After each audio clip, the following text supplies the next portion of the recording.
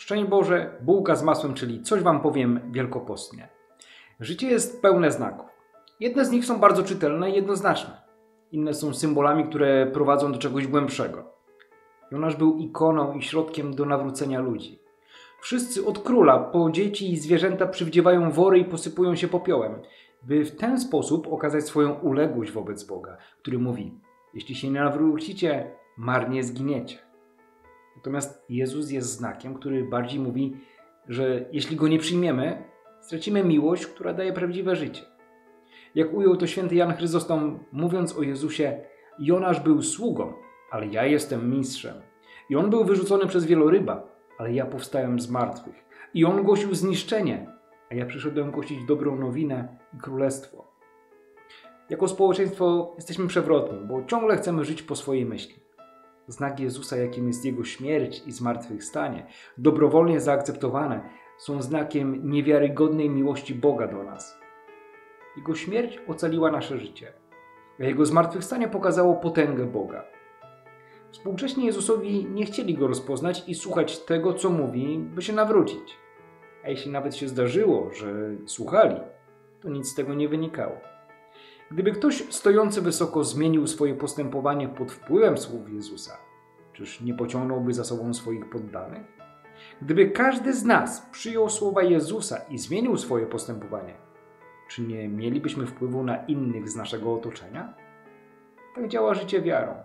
My, postępując według niej, promieniujemy na innych, którzy albo nas będą naśladować, albo unikać. Nasza chrześcijańska czujność powinna być narzędziem rozeznawania znaków czasów. Zbyt często bywamy naiwni, a będąc uważnym, unikamy rozleniwienia. Czujność prowokuje do myślenia i do odkrywania tego, co dzieje się wokół nas, w naszym życiu. Mija tydzień, od kiedy na naszej głowie znalazł się popiół i usłyszeliśmy pierwszą homilię Jezusa. Nawróć się i wierz w Ewangelię.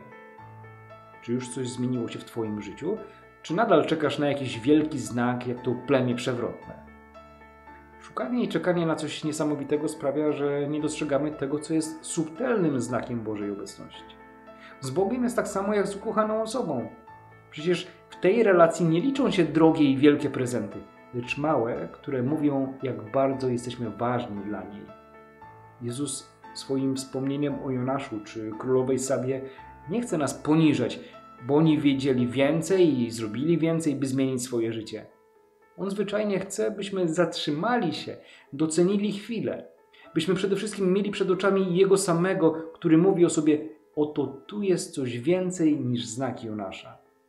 Tu jest przyjaciel i to bezcenny i niezawodny. Ta Ewangelia kolejny raz daje nam odczuć, że jesteśmy bardzo ważni dla Boga. Choć często jesteśmy nieporadni, gapowaci, roztargnieni i nieposłuszni, to mimo wszystko jesteśmy wyjątkowym darem Bożym dla nas samych i dla innych. Kiedy staniemy przed krzyżem Jezusa, zobaczymy w nim nie tylko naszą bezsilność, ale przede wszystkim odradzającą moc Boga. Wtedy nie płaczmy, że wiele okazji do poprawy zmarnowaliśmy, lecz prośmy o Jego życiodajnego ducha i dziękujmy za wszystko, co dla nas zrobił. Z Panem Bogiem.